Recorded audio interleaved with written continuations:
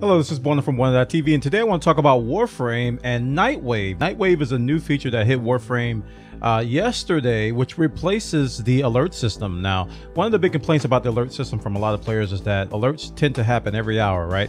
But you may see things like Forma and potatoes and things like that, uh, catalysts and whatnot that may occur like in the middle of the night when you're asleep. And uh, a lot of people have applications that will alert them. If a forma pops up, they'll wake up, they'll go to the alert, get the forma, they go back to sleep. It wasn't a, a perfect system, but it worked for many, many years. So Warframe has completely scrapped the alert system and they've introduced this new Nightwave system, which you know, a lot of us, including myself, kind of akin to like a sort of a battle pass.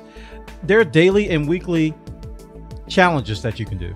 Like for example, you can deploy a glyph, you get a thousand uh, reputation towards the Wolf of Saturn 6, and you get a whole bunch of cool things uh, from rewards as you do these different things. You got, you know, Fully Socket, a Ayatan sculpture, complete bounties. These are like things you would normally do. Scans for Cephalon Simaris, kill 500 enemies, so on and so forth for the weeklies. You can see that there's some elite weeklies, there's some weeklies, and there's some dailies. So the different levels of things. Now, before you get into the, the, the obvious conclusion that hey, Bwana, this thing's going to be super grindy. Oh my gosh, Warframe adding more grind. Uh, uh, DE has already said, uh, specifically Rebecca's already said that um, you really don't have to play a whole lot to get everything done. Uh, you don't have to. You don't have to grind day in and day out to get to level 30. From what she said, it's a casual pace. And if you do, I believe she said 60 to 65 percent of the activities, you'll get to level 30. And the rewards are pretty awesome. Um, I'm not, I, am just gonna go right to the thing. Uh, the, the thing. Well, what's the thing? The Umbra Forma. This will allow you to apply the Umbra polarity. Now, if you if you if if you haven't done the quest for Umbra, I'm sorry, I'm not gonna spoil you too much. But some items came from that which had some Umbra related modules.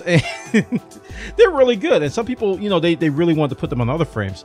So now you can with the first of many umbra formas there's forma bundles there's some wolf house. Oh look there's arcane energize. And some of these modules are kind of insane sick and crazy. Look at this. Napalm grenades on the penta. It, it, it, it leaves a, a burning patch on impact and it gets a plus 30 to base status chance. Ooh. and then this one right here Bursting Mass. That's pretty good. I'll let you read that one. But this is probably the one. I mean, I'm going to turn to Clem. Grakata. Grakata.